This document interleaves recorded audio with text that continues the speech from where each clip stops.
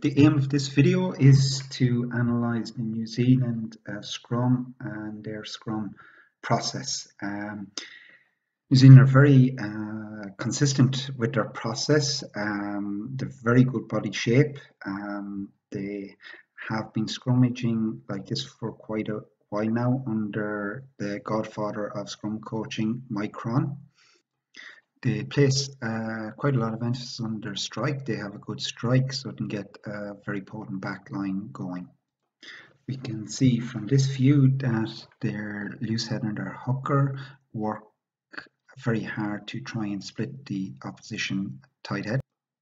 Their locks scrummage fully on their props. You can see here um, the right side lock um, he has his shoulder fully connected with his prop at all times with his tight head.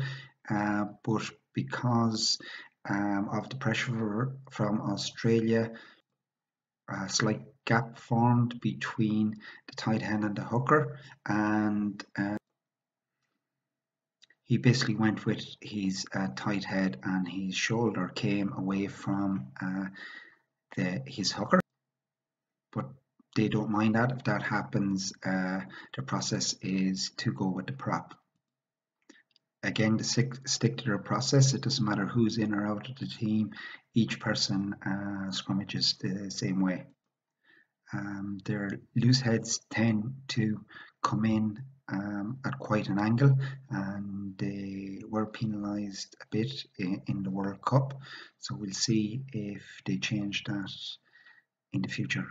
You'll also notice their number 8 uh, is in good connection with his second rows at all times and their second rows um, have two knees off the ground at all times. They're on their feet the whole as opposed to Australia who had two knees on the ground. So we play through and notice how Loosehead and Hooker try and really attack and split the opposition tight head.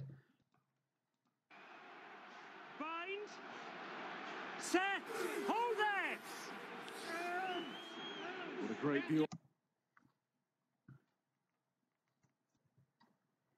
So we can see here our, our loose head is going in at a slight angle and also my hooker is scrummaging straight. Okay, he's trying to split loose tight head and hooker and my loose head is coming across to disrupt. So again, we have the angle here coming slightly, hooker straight. You also notice here, okay, our locked or separation between the hooker's hip and the lock shoulder, okay, but he has his right shoulder in complete contact with his prop.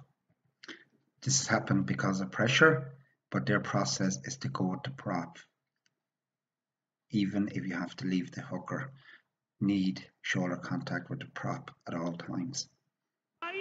So let's play it through and see what's happening. Set the hooker and the second row. You will also notice number 8 shoulders are in complete contact with his locks so he can fire them into the Australian number 8 who lifts his second rows on the bind call. Um, for more videos, uh, please subscribe to my YouTube channel and check out my website at thescrumdoctor.com. Thank you.